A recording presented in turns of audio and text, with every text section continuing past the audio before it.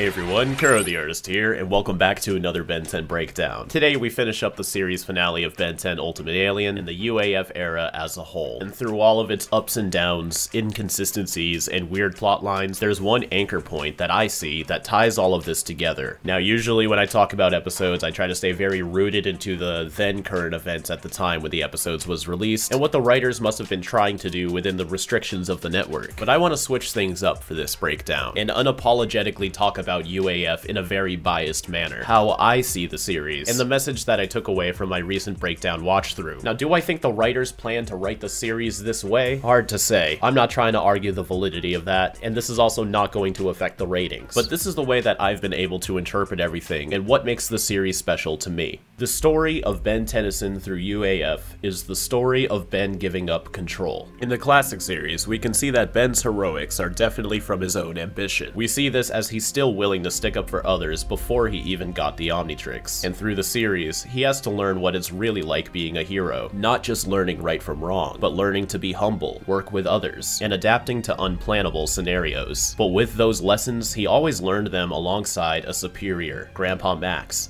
Tetrax, Ultimos, Xylene, Azmuth, even his own future self. Practically every lesson he learns is through the guidance of a role model. He may be doing the right thing, but his journey is beyond his control. He's mostly reacting to the scenarios he finds himself in, and tries to do the right thing. In Alien Force, Ben is left on his own to figure things out. He has the support of his teammates, but when it comes to an authority figure, there isn't any. So he takes his previously learned lessons about humility, cooperation, and adaptiveness, and uses those skills to build a powerful network of heroes to defeat the Hybrid and end a galactic war. Everything he's done, he did it his way. So of course, that'll put a chip on his shoulder. In Season 3, we see Ben fully embellish his passive control over the galaxy. While Ben's not directly in a ranked position of power, practically no one is strong enough to tell him what to do. And he knows this. If he wanted to, he can set foot anywhere and do whatever he feels like, because he's Ben Tennyson, the boy who stopped the Hybrid War. He goes on to save Vilgax's home planet, uses his fame to bend the legal system, and even resurrects a whole species. When Ben is in control, he is put at such ease, it's hard for anything to feel like a challenge to him anymore. However, this attitude doesn't lead to flawless results, as his cockiness leads to consequences like breaking the Omnitrix, accelerating a planet's passion for war, and eventually bending to Vilgax's will. This shatters Ben's illusion of the control he thought he had on his surroundings, begging for Azmuth to help him, despite his arrogance. This is probably Ben at his lowest point at the time, and it's only when Ben feels completely helpless does he realize what he has to do, destroy the Omnitrix. Now Ben understands that being in control isn't always about being better than your enemies, it's about taking away your enemy's power to control as well. In Ultimate Alien, Ben is now armed with the Ultimatrix and had his identity exposed. All that fame and glory he's been aspiring for is given to him in waves, to the point where there's times he no longer wants it, as if now that he has control, he's getting sick of it. But everything gets turned on his head when new enemies arrive, and for the first time, we see Ben constantly lose. Not just lose a battle, but get outsmarted time and time again, constantly shown that just when he gets comfortable, there's always going to be someone new that's out of his league. Everything between Greg, the Map of Infinity, and Ultimate Kevin became so far beyond his control that it breaks his moral code, prompting him to take the most extreme initiative in deciding to kill Kevin in order to put an end to this parade of failures. After everything he's been through, if there's one thing that he can do, he can ensure that it stops with Kevin's reign. Fortunately, Gwen was still able to get through to Ben at the last second, and it turns out that Gwen's way was the right solution. Beforehand, it was only when Ben had full control over the situation that led to victory, but here, it was giving up control that led to victory. This shows Ben that sometimes the best thing you can do is get out of the way. This is further reflected in the Ultimate Sacrifice, where Saul claims that the only way for himself and the other Ultimates to survive is for Ben to take his own life and jump into a pit of fire. Ben chooses to sacrifice himself for them, the ultimate example of giving up control. Ben is then rewarded for his selflessness, as the Ultimatrix allowed him to live, proving that he made the right choice. So now that Ben understands he doesn't always have to be in control, how does he handle the Dagon war. At first, he trusts Azmuth's decision to fight George and take back Ascalon, believing that Azmuth knows best, once again continuing to give up control. But when confronting George, Ben is surprised to hear that George relates to Ben's desire to do things his way, even if the entire world tells you otherwise. How many times have you known in your heart that your way is best? How many times have your plans been thwarted because the very people you're trying to help won't trust you?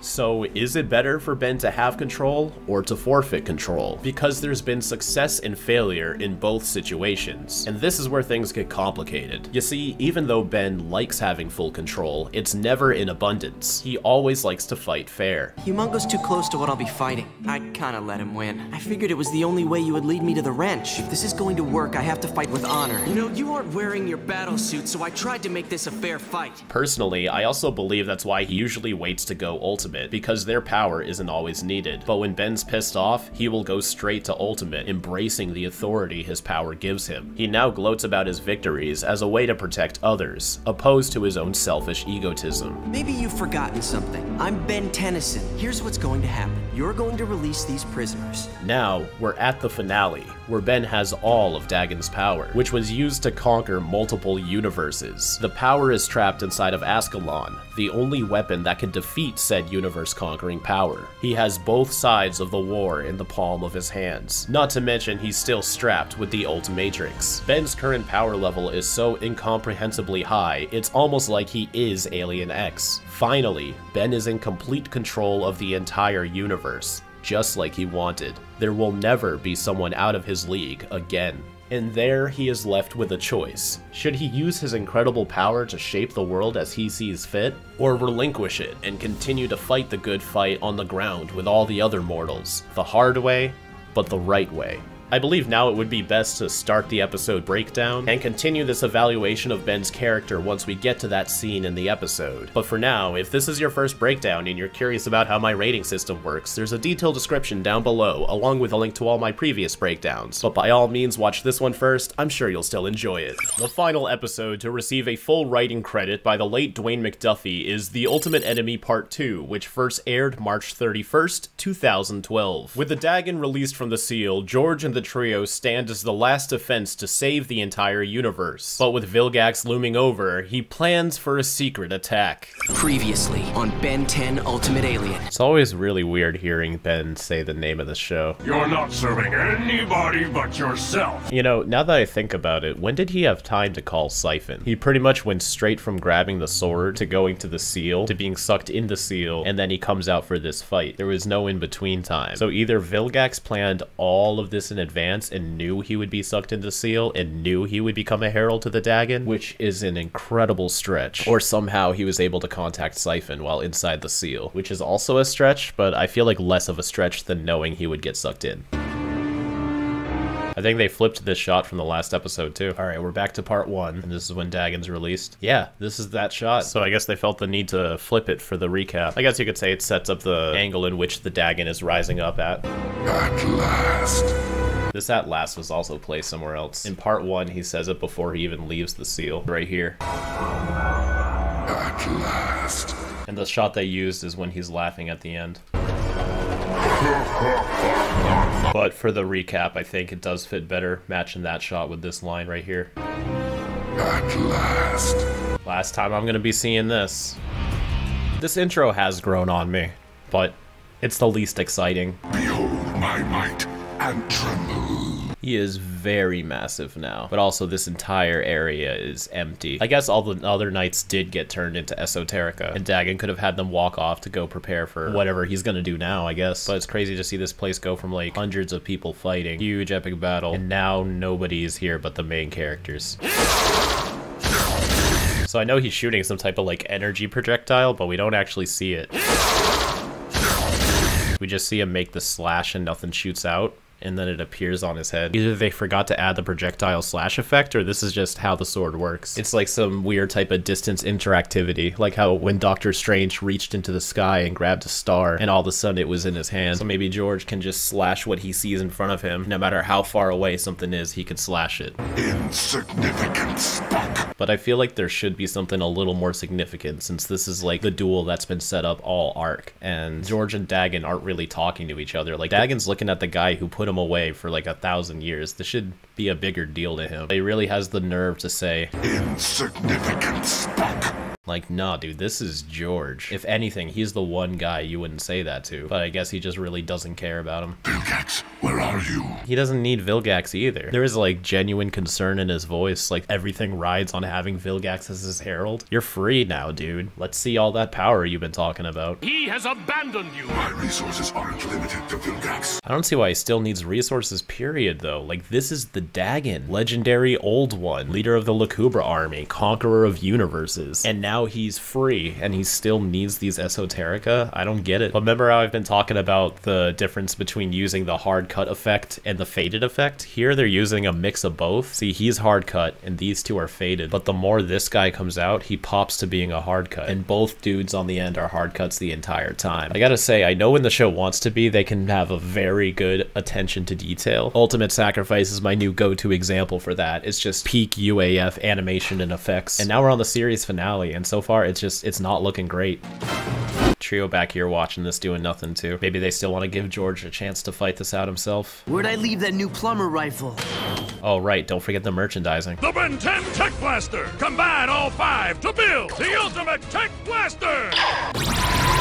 And that's it for Jury Rigg. Ben becomes him last episode as if he's ready to fight. Jury Rigg chills here for like a minute and then he's gone. I guess, yeah, it doesn't make sense for Ben to be Jury Rigg, but like from a writing standpoint, it's kind of weird. I guess you can kind of hide in the confusion of switching episodes that Jury Rigg didn't do anything. And I'm still under the assessment that he became Jury Rigg because he saw Vilgax's machine and assumed he could handle it. But that wasn't acknowledged in the episode. So to us, all we're seeing is Ben use Jury Rigg, walk out of a cave, and then turn back. But he's done that before too. Swamp Fire, Chroma Stone, NRG recently. There's a handful of times Ben becomes an alien and doesn't actually use it. It just stands out for Jury Rigg because he literally has two appearances in UA, and one was an episode dedicated to him. So we get a whole episode of Ben learning to master this alien, only for him to have a cameo in the finale and then not be used until Omniverse. Protect George!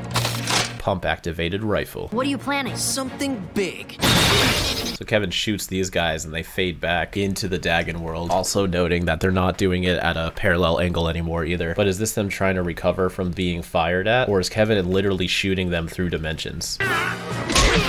Oh boy, last time we're gonna be seeing this too. I love you, Dwayne, I really do. But going out on this episode, at least we have so much of his other work to appreciate. That's all I feel like I could say about that.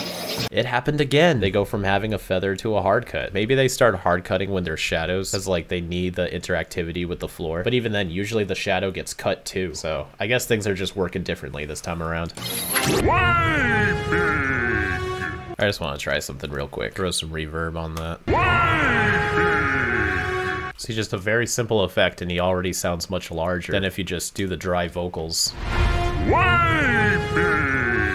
See, now it seems so flat in comparison. I do like that they're having the sky zoom out as he stands up. That does help emphasize his size. Why don't you pick on someone your own size? I'm gonna try one more time on that clip too. Why don't you pick on someone your own size? There's definitely ways to like fine tune that so it sounds more like professionally blended into the atmosphere. But yeah, just a little bit of reverb goes a long way. Why don't you pick on someone your own size? Why don't you pick on someone your own size? You are beneath my notice.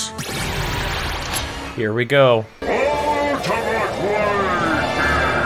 You know, I feel like this should be more hype. Maybe it is just me though. Like I think there's a fair amount of people that did enjoy this Ultimate Way Big scene. But like because the Ultimate feature was so underutilized, and I'm not gonna lie, Ultimate Way Big's design isn't that great. I definitely prefer Ash's version, which you can check out in his Ultimate Overhauled series. It's a really cool concept. It ties in the Cosmic Storm elements from the video games. But there is one thing I'll give it credit for. Since Way Big was initially a big Tokusatsu reference, this comment pointed out that Ultimate Way Big's design continues that trend, where Ultimate Way Big's horn shape is based on one of the other Ultraman forms. And I could see that. And you know, if it's paying homage to that, I respect it. But like, I'm not big into Ultraman, so I wouldn't have gotten that reference. So to me, this just looks like a very simplistic and kind of strangely colored way big. All 52 episodes, and the Ultimates just never landed for me. Except for Ultimate Echo Echo. You're perfect. I always did love this shot though, of him just straight up flying upwards like he's Superman or something. You might as well go full on superhero for this. How do y'all feel about Ultimate Way Big though? Let me know down in the comments below. There's gotta be fans of him out there. It is underwhelming though that his one and only appearance, he's fighting someone so much bigger than him. So even though we have Way Big, who's Ben's largest form, and then his ultimate form, you see him grow. So he's much larger than Way Big. I really want to feel the size of this guy. But then you have him go up against this, and it's like, oh. I guess it does like play up how big Dagon is though. Like Dagon's friggin' ginormous. And I do like that they keep his eyes a solid glowing red, even though they do add a gradient to him. They keep the gradient off the eyes. Impossible. Dagon's impressed. Ooh, and he's strong enough to move Dagon. That is pretty cool. But now we're near this area, which I guess was just nearby this entire time. We've only really seen like that one shot of the cave, so I never really knew what was around that area. But that's got me thinking, is this the same dam from X equals Ben plus 2? Uh, it could be, I guess. There are roads in this area, and there was roads at the other dam, but that doesn't say much. And these buildings right here do kind of line up. Yeah, you know, it would be nice if it was the same dam. Also kind of makes me wish he used Alien X in this finale, though. If there was ever a time for him, this would be it. Yeah, you know what? I swear to God, this is the same dam. But yeah, the first thing we see Dagon do is get freaking toppled down by Ultimate Waybig after pleading for Vilgax and his Esoterica to come save him. He's really not sticking the landing on all that hype he's had the past like 15 episodes or so. Good water though. I like that his laser keeps firing as he runs. Like once he starts shooting it, it's automatically going until he turns it off. That's gonna be expensive. That's pretty cool. I wonder if this is Ben's first time being Ultimate Way Big, because he seems pretty well versed in his moveset. And granted, he's done that many times with brand new aliens. But I'd believe it if Ben like secretly gave this guy a shot one time off screen just to see what he does. I wish they put at least a little bit of detail inside of his tentacle being chopped off, like what they did with the Lucubra. But of course it grows back. Look at the little ridges on his tentacle when he shoots it out. That's nice. Turbo! Let's go. Gwen's got to use her most repeated spell in the finale. I genuinely do like that. And she always uses it different every time. They can't teleport through your shield. They move between dimensions. I swear, they establish that every single time they fight these guys. Gotta keep the new viewers educated. How do we use it to help Ben? By helping George. Where is George? Yeah, George isn't even on screen right now. This is supposed to be his legendary battle, and now he's basically irrelevant. Are you simply too unintelligent to realize how hopeless your struggle? Yeah, but Dagon, he's actually pulling some good moves on you. And it looks like Dagon shrunk down to his size too to fight him easier. I like his big three tentacles for him. It's more unique than just the floating head. Ooh, look at that flash frame. Ka-chow. Cool move though. Acid Rain. Strange it doesn't also affect the ground. Here these look like CG clusters though, not just an image. They actually look really good. Every still frame seems like it could just be a painting. If you notice, when Dagon disappears, Ultimate Waybig's laser starts extending further. That's a great detail. But you do see, and I think this is an error, but it works because it looks like there's a gap in the water. The two different layers of Dagon separate when he fades away. Because if you notice, only the top parts of him are moving and the bottom parts are perfectly still because that's two different layers. But when they both turn transparent, you can see through the top layer and it reveals the bottom. If your character is built based on multiple layers, which in all honesty, every single thing is, when you start making them all individually transparent, it reveals the layers underneath. Even if you make everything equally transparent, you're making them all see through to each other. So see how Larry is in front of Bob right here? And we're gonna make both of them transparent but now you see Bob more clearly under Larry. What you need to do is once your character is fully put together, merge them all into one solid video, then you can make them all collectively transparent. So if we do it this time, now you never see Bob through Larry. That was a very lengthy way just to say I can see that happening right here. The layer separation. Hey, we're in the UA finale breakdowns. I'm gonna let myself get pretty intricate.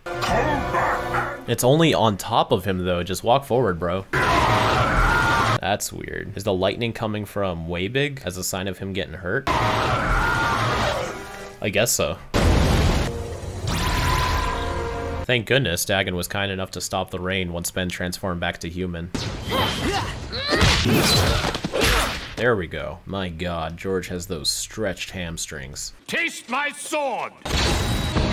It's not a season finale if Ben doesn't pass out. Okay. Now we're pulling out the stops. So Ultimate Wildmutt is the last Ultimate in the whole series. I guess they're just trying to get all their underutilized transformations out there. That was cool. She's still resisting Dagon's power for a little bit though. Even if it doesn't hold, that's incredible. Look at Kevin bulk up too. I don't think we've ever seen him do this. Coincidental metal piece on the ground. They couldn't even make it one of the knight's helmets or something. You can also see Kevin's skin layer underneath this one. A lot of layer analysis for this breakdown. And that's it for Ultimate Wild Mutt 2. That was like barely anything. We're almost halfway done this episode and like can't help but feel they're wasting the finale. The Ultimate Way Big fight was kind of cool, I guess, but like why are we still wasting time fighting these no-names when the bad guy, the arc villain is here and we're spending so much time away from him, especially George versus Dagon. You're worried about Vilgax. I hate to look past the giant demon raining down fire from the sky. I hate to look past it too. Can we get back to that? Which we can deal with after. Look at this. The legendary battle has been reduced to happening off screen as we talk about Vilgax again. Remember when Azmuth took the trio back in time to the first time George fought the Dagon and it was like this horrifying chaotic battle and they only showed it off screen? It's like that's happening again. I'm just gonna pretend that that's what's happening here and they're doing it on purpose. Is it ready? So this is Vilgax's power trainer, which we saw in Vengeance of Vilgax Part 1 and 2 in Alien Force. I guess it's kind of neat to see this come back. Also, you'd think that Dagon would be able to sense Vilgax somehow, because he is infused with all that Lucubra energy, and I mean if Gwen can sense other beings, Dagon should be able to. Their power sets versus their size makes it pretty hard to choreograph a battle like this too. George has some ranged attacks, but not primarily, and he also can't fly. And due to Dagon's size and being in the sky, there's not a lot of room for interactivity. They should have had Dagon shrink down and form to like a human-sized combatant just to make this battle work a little bit more. Like it'd be obvious like that's what they're doing. But you can come up with a billion in-universe reasons for him to do that. Maybe he's like, I don't need to use my full power to beat you. Or maybe he turns into a clone of George to mock him and he fights like negative George. Not great examples, I know, but like I would trade him shrinking down for a poor reason than limiting yourself to the interactivity between George and him. Maybe he can even turn back into the dragon to like honor their past battle. That'll at least like lead to something with more versatility in what you can do with it.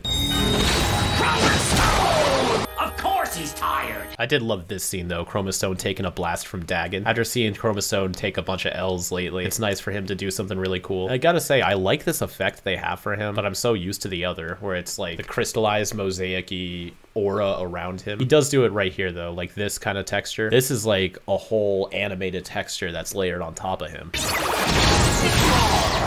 But his blast does look awesome. Culminates in a giant sphere and a powerful beam erupting out of his chest. This is the kind of action I should be seeing, and it even hurts Dagon so hard he shudders. Already doing much better than Ultimate Waybig. But it's also worth noting that he's shooting Dagon's own power right back at him, so that's probably why it does more damage. Now would be a good time to use it! There we go. Yeah, take him down. How much power can you absorb? A lot! I like to think that Ben has no idea and he's just guessing. How much stronger do I get when I'm older? A lot. How long can you hold that up there? I don't know. A while. How much power can you absorb? A lot! Magnus Pulse! Ooh, a spell shooting mana. Sounds like a, it's a multiplying spell. So she's not just shooting mana for him to absorb, she's shooting a very specific kind. And it hypercharges him. Dagon's adapting though. First he's actually taking the hits, but now he's gotten used to it. And they can't affect him anymore. Boom, smacked on the ground. That's the Chroma Stone we all know and love. See, another problem with having him up in the sky is there's not too much of a variety of ways you can do this shot. Like, they're very limited to the way they can set up their camera, too. You're either looking up or you're looking down. Clouds cannot protect you from my wrath! Ooh, you actually see a skeleton and everything. This is done very nicely, too. I love all the effects on this. Oh, he's back to his regular form. And there he goes. Dagon killed him. Oh man. This specific scene right here is pretty dramatic, but because of the weird pacing of the episode so far, they didn't really build up to this in a way to emotionally connect with it. This is one death I do think should have been done with a little bit more of the audience's emotions in mind, as opposed to my other argument where Edwards and Winston died, and I was like, it's cool if you don't feel anything, but this one I feel like you should have felt something. Maybe if you like centered the battle around him fighting Dagon instead of like Esoterica and Ultimate Waybig and Ultimate Wildmutt and all this junk that like no one really cares about. Like they sound like neat bullet points. Like if you're pitching out a story and be like, all right, he goes Ultimate way big, then Kevin can use that plumber rifle and fight more Esoterica. Sure, it sounds great, but like everything in the season didn't build up to this. We were building up to George versus Dagon, and that fight literally happened in the background for like most of his scenes, and then George gets killed in a visually nice way, but emotionally insufficient. George didn't make it. Then it's up to us. We're right here with you, Ben. I think their reactions were a good way to handle it, though. Like, you could tell they care, but they also need to prioritize the mission. It's like what that plumber said to Ben. Sorry about your team. It comes with the territory, Ben. We're all professionals here. But I mean, still, so much build up for George just for him to go out like this. It didn't even feel that legendary of a death either. It's kind of just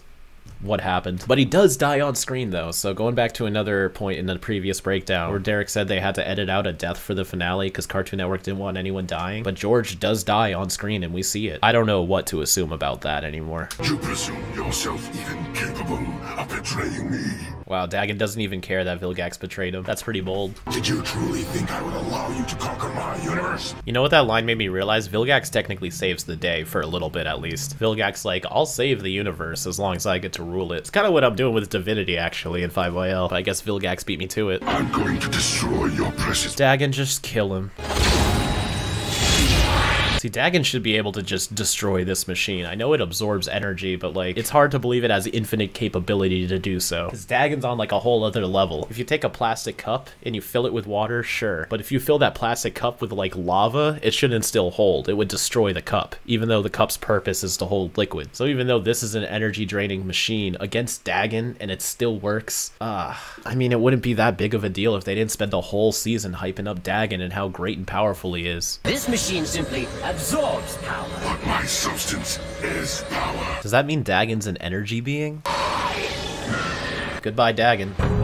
And now the two most important key players in this arc, who had a lot of dedicated backstory, a lot of hype surrounding their final battle, and pretty much are the reason this whole thing is happening, are both taken out pretty quickly, and now it's over. That's it. That whole story is wrapped up. Now it's about Vilgax once more. At this point, it just feels disrespectful for the writers to do this to themselves. Like, what was the point of all of this if Vilgax is just gonna swoop in and say, hey, you know all those episodes we dedicated to the Dagon and George? None of that matters now. Dagon gets defeated like that through a plan that had no foreshadowing in a method that to me contradicts Dagon's immense power, and it didn't even feel that clever. Honestly, I think it would have been cooler if Vilgax tried to betray Dagon and it didn't work, and then Dagon kills Vilgax right there. Not only would that play up Dagon's threat even more, but seeing Vilgax, who's been the big bad since season one of the original show, finally get ultimately defeated, I think that would have been a great way to put an end to Vilgax, and also force Dagon to be the final boss, and keep George around for him a little bit more. Maybe George can die a little bit later in the episode. He can still die, just not so inadequately. In fact, they could have even saved Ultimate Waybig for later after Dagon kills Vilgax, and then make Ultimate Waybig powerful enough to defeat Dagon, because he's an artificially constructed being from the Ultimatrix, something nobody could have planned for, especially Dagon. So Dagon can be so impressed by the immense power of the Ultimatrix, and then that actually makes going ultimate more important, and that makes Ben the ultimate alien. Psyphon, don't! I don't get why they're trying to convince Psyphon. He's gonna do it. Ben should go fast track and just smack Psyphon away from the controls right now. They're just letting this happen. See, this is where the Esoterica could come in handy, if they're keeping them distracted or holding them down or something. Now that it's actually necessary for the story to utilize the mooks, they're nowhere to be seen. The Esoterica worshipped me because I looked like Dagon. His mouth doesn't move when he first starts coming out. You can see him when he says like Dagon. Looked like Dagon. Now I am the Dagon. I just feel really misled with this whole arc. I like all of the setup and I like the very last couple of moments, but the actual finale episodes, like everything from the beginning of the end till like Mount Rushmore, which we'll get to soon, is the least interesting part to me. I like all the lore and I like the character development for Ben. That's about it. You won't thwart me ever again. Go Alien X. For real though, like Ben was gonna go Alien X against Greg. That's a pretty cool effect. I'll give him that. You can even see clouds of smoke bursting from it, but it's sort of disguised by this blur effect. But there's enough motion there to make this look intense. There's photorealistic Mount Rushmore. So we haven't seen this since War of the Worlds, when the gang was gathering up other heroes while Ben talked to Azmuth. It looked so much better there, though. I think they had to remake the background for the third time. First time being, of course, in the negative 10 when we first found this area. So we've seen three different versions of this background now, one from each version of the show. Omniverse had this room too, but they didn't do the famous downward angle for it. Could have had a full set. This is the old plumber base in South Dakota. This is interesting to Ben because he didn't tag along the last time they were here, but Gwen and Kevin were just here like less than a year ago. That's gotta be a record. Is it? Gwen already teleported them from the UK back to America, which is, if you lowball it, that's about 4,200 miles. And the max distance across America is only 2,800 miles. So even at both extremes, there's no way that traveling from wherever the seal is to here is a bigger distance than Dagon's fortress to the seal in a Knight to remember. So I'm just gonna assume Ben's just wrong here. That's not really an error. You gotta be wasted. Drink some juice or something. Kevin's a good hangover buddy. How long do you think we have? Maybe a few days. Tennyson! Ben's instantly wrong. Destroy them, my esoterica. Yeah, again, he doesn't really sound gigantic. I'm gonna try slapping some reverb on that. Destroy them, my esoterica. I'm sure an actual audio engineer could probably even have a better effect to use.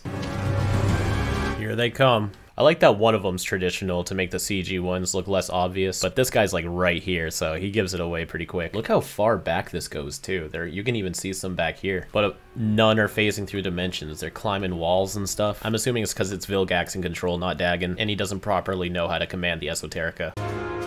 Also, just noticed the top of Gwen's head is like floating above the chair right here. If boys ever bothered to read the manual. Man, I'm all about reading the manual. I save every single manual of everything I buy in a nice little stack in my closet. Instructions for this base's self-defense system. Of course, it shoots out of the eyes. You will not escape me again. Honestly, I don't know what they could do visually different for Dagon becoming Vilgax, but since we've already seen his Vilcubra form, and this is essentially just that as a head, and with red eyes instead of purple, it's just not that cool. I don't know, how would you guys design Dagon Gax to look different from Vilcubra? You don't actually have to draw anything, you can throw a comment, but I mean, feel free to draw something and tag me in it, I'd love to see. I might even give it a shot myself, but right now I'm blanking on ideas, so it feels like disingenuous to hate on it, but I gotta be honest, like, I feel like there's a more creative design for this. This is cool though. In fact, this is essentially what I wanted Dagon himself to do. And it's animated pretty nicely as well, so that helps. It's weird that it goes out of focus though. And it also seems as if he's shedding his mass, because he's not just shrinking down. He like morphed into the oozing funnel and then it blorps off of him. And now he's got that Saiyan aura. I like this shot of him too, though, going straight through the laser. He shouldn't be struggling right here, though. He should be able to tear that face off like nothing. Is this really what the other side of Mount Rushmore looks like, though? I thought there was, like, buildings and walkways and stuff. I've looked this up before, but I gotta do it again. Yeah, see how it's all touristy and whatnot? Is this it right here? Is this Mount Rushmore? Oh, no, this is Mount Rushmore. Okay, here's all the faces and stuff. All right, yeah, so it is just like trees and stuff. But I mean, you do see roads and buildings. There's not really any mountains over here. So this should have been like even more trees if they just needed like some filler stuff to throw in the background. That's gonna be kinda hard to cover up. Well, they've done it before.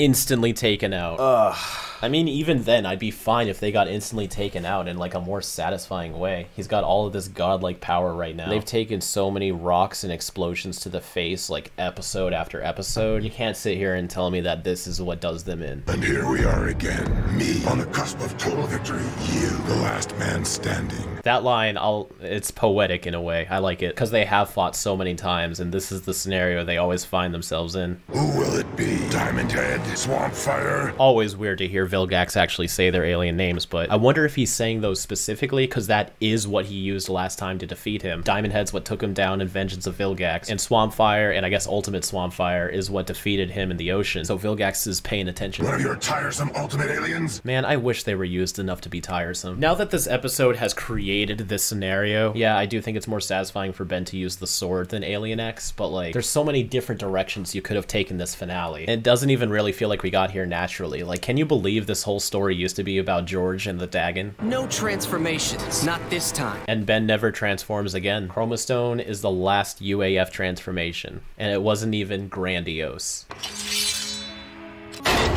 Maybe I'm just being super nitpicky, but even this, like, why is he even bothering to pick this up and throw it? Dagon made it rain acid. He created a storm and formed a lightning bolt that killed an immortal being. And aren't the Esoterica done climbing that mountain by now? What happened to them? There's six billion of them. Where are they? On a note of positivity, though, I do like that even though these wires and stuff are part of the background texture, they do move and stuff as he's disconnecting everything. This is a good sword. It is. Even if it was that sharp, it must be enhancing Ben's strength too to cut through this. Or it's just that infinite Tennyson strength again. Take your pick.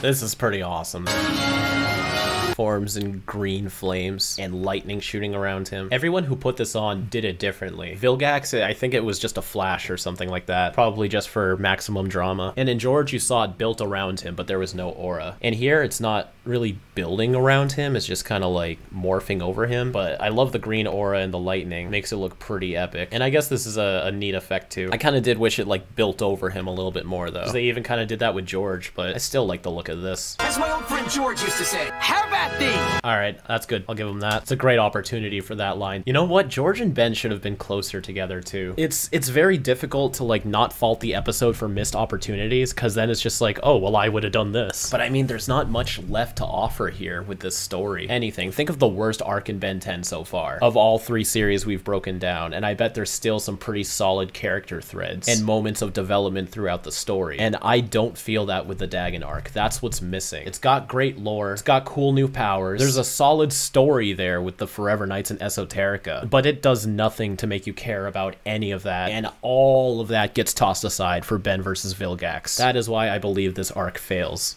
But at least Vilgax is trying to use his power more. That was pretty awesome, though. That was probably the only cool part of this fight. Vilgax forms this giant purple energy blast, and Ben smashes it back, blasting right into Vilgax. More stuff like that, please. Vilgax's teeth are very different right here than they normally are. Here they're just regular spiky teeth and not the weird Vilcubra fangs. You don't even see the impact either, it's just a bright flash. Such a weird sound effect too for Vilgax falling. That right there, sounds like a stock sound effect you'd use in a Hanna-Barbera cartoon. And all of a sudden he's back in his warlord garb. We've seen this outfit get ripped apart in the ocean. I mean, I guess Daggett's power could bring it back, sure, and Vilgax didn't want to be naked. You stabbed me. Yeah, man, that's what happens when you don't block. Also, I know that you stabbed me thing became like a meme in the Ben 10 community, and I, I think I was responsible for that. I might have been. And the reason why I found it humorous is because he's so surprised. You stabbed me. Like, it's not even the delivery or anything, or the fact that the battle ended with a stab. It's like, why is Vilgax so shocked? He's like, I can't believe you done this. You've only tried to murder me nearly every single time we fought, but if you stab me, gosh, Ben, have some dignity. Don't be such a baby. Ben says that so aggressively, too. Don't be such a baby. That delivery is a little humorous for me. I just took Dagon's power from you. And dressed him up again. Maybe Vilgax got his outfit back because since Ben can, like, manipulate space-time now with the sword, he can't picture what Vilgax looks like without his warlord garb anymore, so when he stabbed him and took all of Dagon's power, Ben, without knowing, like, subconsciously put Vilgax back in this form again. You have the Ultimatrix, the Sword of Azmuth, and the power of Dagon at your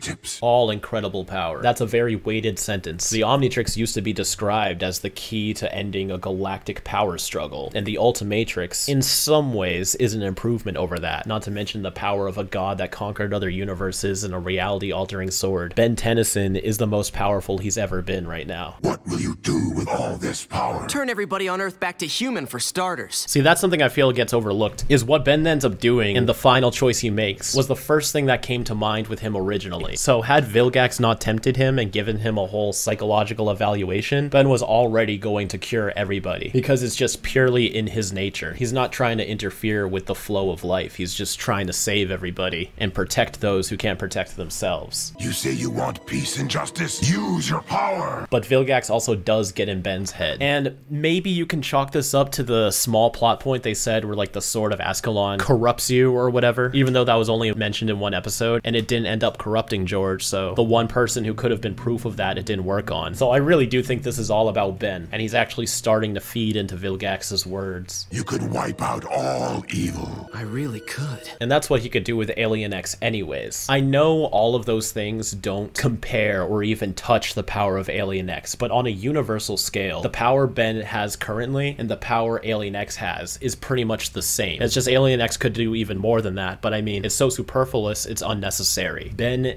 is a god right now. He can do anything. I really could. And now he's actually considering it too. Ben, what are you saying? He can create whatever universe he imagines. I do wonder what the motivation for Vilgax corrupting Ben like this is. He did play the Dagon, so maybe he's just trying that card again, where if he can get through to Ben and corrupt him, perhaps he can manipulate Ben to do his bidding, like being the right-hand man to a king. Or Vilgax is like, if I'm gonna lose, I might as well try to mess with Ben. But either way, yeah, it's it's curious to see Vilgax try to tempt Ben like this. Just wipe out evil. Do it! And you can tell Ben's really considering it too. In fact, this is probably the first time that he's actually acknowledged the immense power he has. And that's also probably why he doesn't use Alien X. Like, he logically knows how powerful it is, but emotionally, once you really think about having that capability, it's a totally different perspective. And that's why his initial decision is to just turn everybody back, because Ben knows, like, logically, that's the right thing to do. He doesn't really think about things on a personal level when it comes to the battle. He's just trying to solve problems and be a hero. But now he's placing himself in the scenario and thinking about him. I swear, it always looks like Julie's coming down from the moon. I thought we agreed to make all of our big decisions together. You know we all love you, Ben. It's also crazy that she was able to hear him, but, you know, ships enhance hearing and whatever. It's just, you know, mechamorph magic. Also, to note from my last breakdown, a lot of people said Ship was able to protect Julie because he was metallic, and I buy that explanation, I do. In fact, I'm actually a little disappointed I didn't think of it myself. But if you try to do this, you're the same as Vilgax or any of the others. Not the best delivery for this either. It's like they only had Vyvan for like five minutes and we're just like, just read this real quick. She doesn't actually sound concerned that the entire universe might change. You try and stop me? We would stop you. Y'all couldn't even stop a concrete wall a couple minutes ago. You're not afraid of me?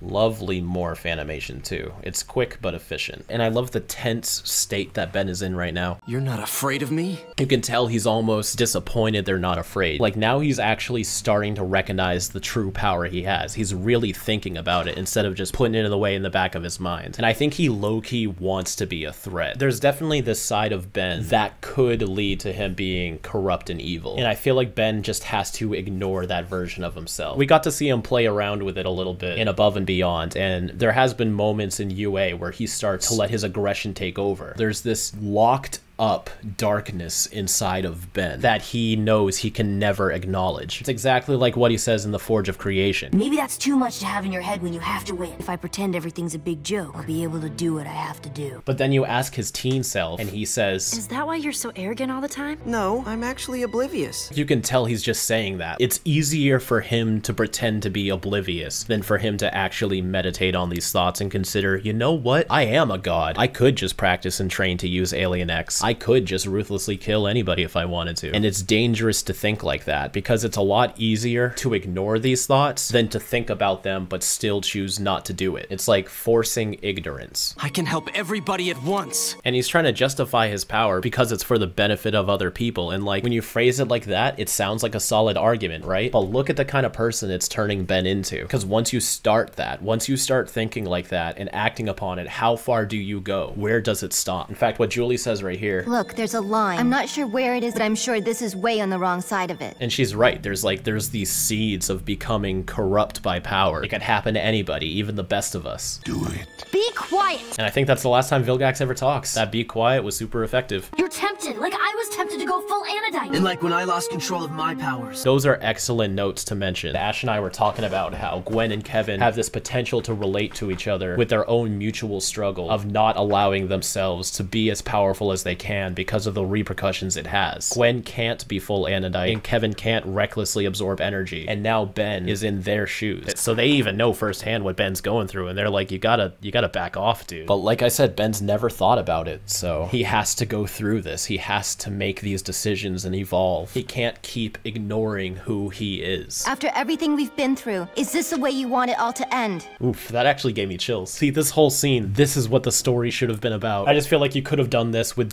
Dagon and George instead of Vilgax. Similar beats could have led to this event, but I mean, we're here and I love it. This this is what makes me like the finale. Everybody stop talking. Let me think. And the wonderful flashback sequence. Now, this is a very iconic scene. I realize that, and I don't want to hate on it too hard. But I will say that even back when I first ever saw this on its premiere, I was very perplexed by their scene choices here. Like, some of them are pretty solid memories, but like, certain things are weird to be important to him. Like, why is his almost kiss with Eunice here? Or Addie being electrocuted by Greg? Or the rust bucket crashing in the perplexahedron? And half of this stuff he wasn't even here for. Like, Max being brought to the hybrid, Gwen and Kevin dancing, Galapagos fighting Greg. That's like super removed from him. Gwen tracking down Darkstar? What are these clips? There are some solid ones in here though. Meeting the plumber's helpers, going Alien X, fighting Albedo. But even then, there's no like theme to these. I feel like the theme of this sequence of flashbacks should have been all the people Ben met along the way and thinking about every time he met somebody and it changed who he was. Like this is a really good scene to be thinking about when Cash and JT stood up for Ben at school when he first became famous. That I feel like is a valid thing to consider when altering the universe. How even those who used to torment him in his childhood still ended up sticking up for him once they realized the impact he had on the world and all the good he's done. Or Gwen and Charmcaster, even though it's not about him, Ben was there and he can recognize how, at least in this moment, one of their greatest enemies was able to work with them for the betterment of the universe. Or Ben meeting his young self to reflect on who he was then and how he's grown now. And being with Julie on the alien planet shows how far their relationship has evolved into. Quite literally, too. I mean, they're super far away from Earth. Ending on this shot was very smart, though. I like that. I know there's a lot of flashback edits out there on YouTube already already. I kind of want to make my own. If I do, I will link it down below. But I mean, the scene itself with Ben reflecting on everything through UAF, the idea of it is great. I like that. And I also think just for the respect of UAF, the flashbacks should only be from UAF. So if I do my own, I'm not going to show any classic series ones because this is about, in a meta way, the journey the writers took Ben through and everything that led up to here. I think this is more of a tribute to the legacy of UAF, and that's how I would treat it as well. They get ready. They don't know what he's gonna do. Vilgax is curious too. And I love this shot, another iconic shot of the show.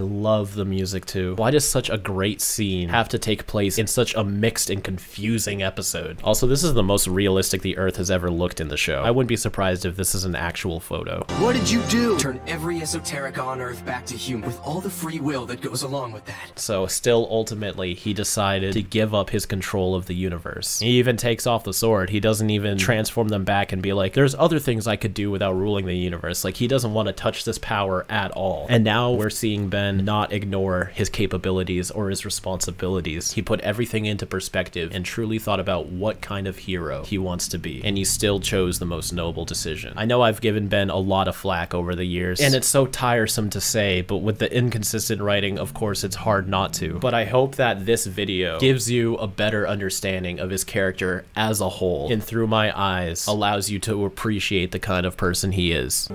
And the first time they've kissed, took him over 100 episodes, but we finally got a Ben Lee kiss. Also, Vilgax isn't shown anymore at all. It's like he's gone. I, I like to think that during this giant DNA wave, Ben teleported him to jail or something, or like sent him back into space. Also, I'm noticing a lack of flaming green aura. What to do with this? Return it to its creator. There it goes. Azmuth is always on some wizard shit, but for one frame, you can see the sword created a hole in Ben's arm as it's teleporting away. You were right. That's too much power for any... What? Oh, I wish they let him finish that line. I get that he's shocked and they're trying to push the story to go into the new Omnitrix reveal, but let him have this moment of revelation. The Ultimatrix! Give it to me! And Ben does that without hesitation either. I feel like that's a very notable thing too. Ben doesn't ask why or try to resist. He literally threatened to kick Azmuth's ass multiple times when he tried to take the Omnitrix, but here he's so embellished in his humble perspective. He's willing to just give it up without question. Now we're seeing the birth of a new Ben, and this sets up a version of the character that I gotta admit we don't get a payoff for in Omniverse. In Omniverse, it's like time to reset him all over again. When considering scenes like this, if this was the end of Ben 10, if this was the true finale of the Prime franchise, I think this is a very respectable way for Ben to go out. I don't get why it cracks and falls off though. Like this whole thing is just pretty weird. Maybe Azmuth like unhooked it when he wasn't looking or something or used his freaking remote. It's also the last time we see the Ultimatrix too. I thought I'd proved I was worthy. You have proved your worth. And the theme of worthiness comes back around once more. It's always been a debate about whether or not Ben's truly worthy of his power. And now we've gone so far where Azmuth will say, This inferior copy of my Omnitrix isn't worthy of you. Ben's now become more worthy than his own power. I don't. Oh, for the love of. Look at your wrist! Azmuth's frustration does sully the moment a little bit. This is one I wish they did play straightforward. I mean, it's very in character for Azmuth, but we're cutting all of the emotional beats a bit short, and I just, I want to resonate with this.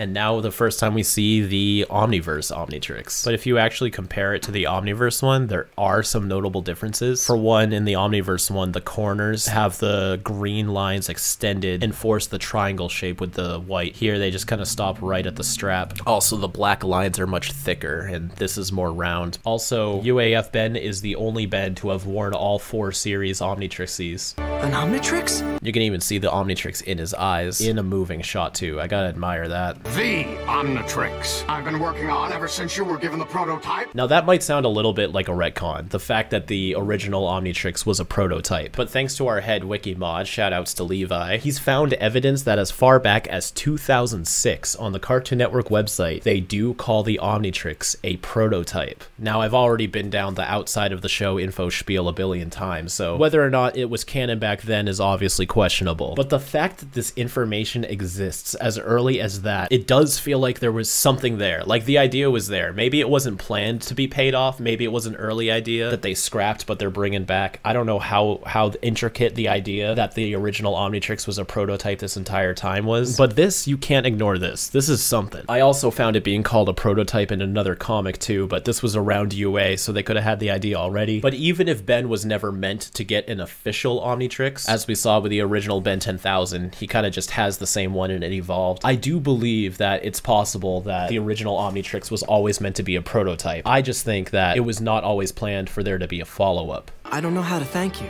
Keep doing the right thing. Man, even Ben and Azmuth's relationship has come a long way. Character-wise, this is a near perfect ending to the series. Kevin has evolved, Gwen has evolved, Ben has evolved, and now they're the perfect trio. We even get a little bit of that in Omniverse. You see how well and functional they are as a team. It's effortless, and I'm I'm truly going to miss the the core trio. I don't suppose you'd consider giving me the master control. Always got to take a chance, Ben. It is pretty trippy to see UAF Ben wear the OV Omnitrix though. Perhaps for your 18th birthday. I like to think Asmith was serious about that. Like he really is going to just be like, "Happy birthday, Ben. Here's Master Control." I'd be fine with that.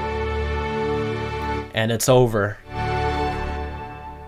This is a wonderful addition. I know I was ragging on this finale, but I mean, the legacy that Dwayne left in Ben 10, it was such an honor to have this ride through the words of Dwayne McDuffie. This whole ending scene, I feel like this is this is the McDuffie writing I've been waiting for. All this other junk with like Ultimate Way Big and more esoterica and Dagon being a schmuck, I could do without. In fact, by the time I get to this scene, I forgot like all of this even happened. It's so irrelevant. Okay, that was it. Final episode of UA. It ended on a very conflicting note. And it's sad to say I'm I'm only going to give the plot a 2. I feel like explaining myself at this point would just be redundant for the amount of critique I've been giving throughout this breakdown. It's misguided, it's aimless. They really really did George and the Dagon done so dirty. But wrapping up Ben's very shaky character art in a way that I think satisfies and improves on Ben despite it being the last scene of UA. I think it's wonderful. Characterization will get a 3 for all the same reasons. Visuals is a 3. It's passable. There's some really cool stuff in there. I'm just pretty picky when I'm analyzing, but I mean, it's it's all right. I really wish the entire world turning into esoterica felt like it like more was happening. And like pretty much the whole army got wiped out by George Washington's eye lasers. That was kind of lame. But seeing Ben in the armor looked cool. Julie came in at the last minute to add her own perspective. But I mean, ultimate way big. What was that? Importance 5. Entertaining 3. It's just it's so it's super hit or miss. Half of y'all are gonna say I rated this too high. Half of you are gonna say it was so much better and I should have rated it higher. It's enough, I guess. This is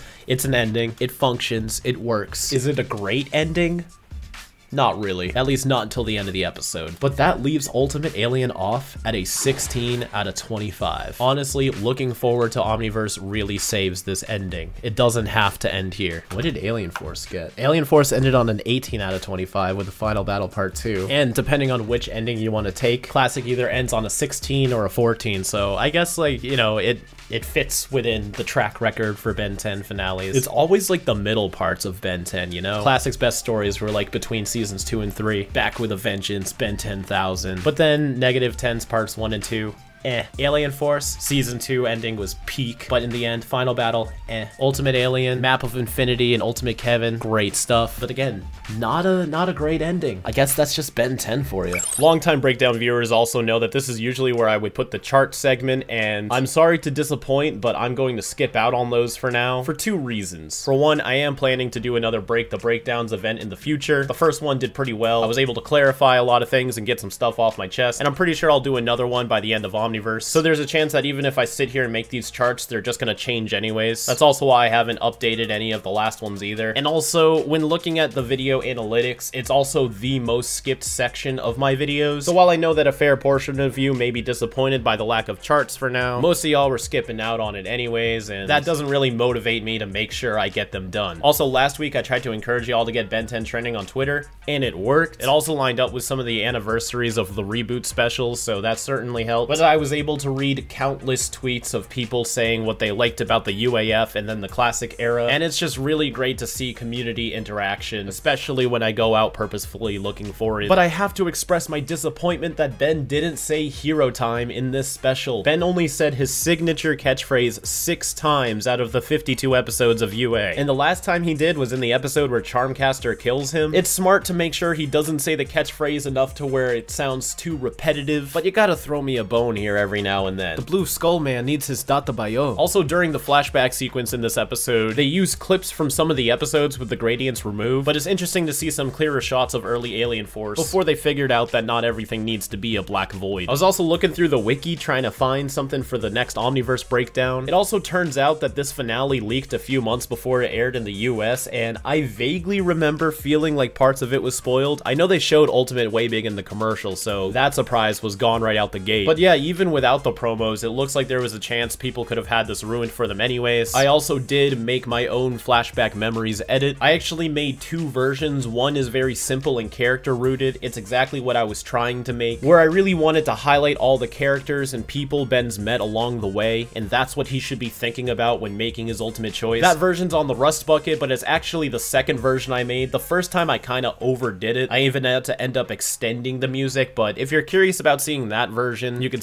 see it on our Patreon. But I do think the second version, which is the public version, flows much better. But hey, if you're curious, it's only a dollar a month. From last week's poll, it seems like folks are very excited for me to talk about the malware arc. It seemed like Omniverse's most well thought out, planned, and interconnected story, so I can see why everyone's most excited for that. I'm also excited to break down the 200th episode special, the one with all the alternate Bens and stuff, but that's not really an arc, so I didn't include it on the poll. For this poll, I want to ask y'all, do you like the Omniverse Omnitrix? This time I will throw in a neutral answer. Sometimes I love the straightforward yes or no type of decisions, but this one I feel like you can have a little gray area with. But until then, I hope you enjoyed this UAF ride with me and have a fantastic rest of your weekend. And as always, keep it fizzy.